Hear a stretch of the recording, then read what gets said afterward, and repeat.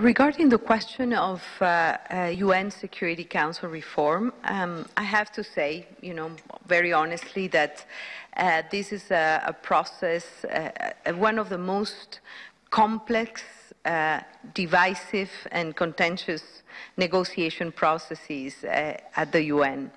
Uh, as you know, uh, the, um, the um, reform of the Security Council is under the responsibility of the General Assembly. The process of reform has started 25 years ago, and the, uh, the mandate to negotiate the reform came 10 years ago when I was ambassador of Ecuador at the UN. And at the time I thought, okay, we have a resolution to start the negotiations. And uh, with a great naivete, I, I, said this is going to be a process of perhaps two or three years.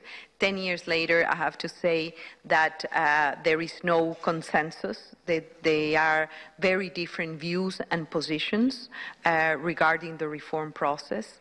Uh, as we know, uh, we need consensus uh, to advance uh, in a meaningful reform.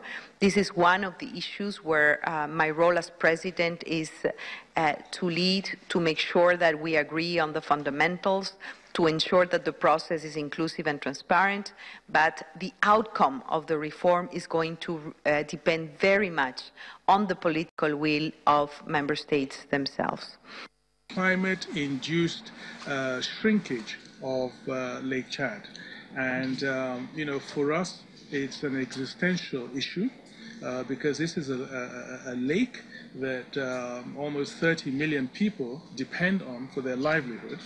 And um, we have seen it shrink by almost 90% uh, over the years. And um, this has uh, created uh, very severe challenges uh, for the people uh, of that sub-region and indeed for, um, for our country.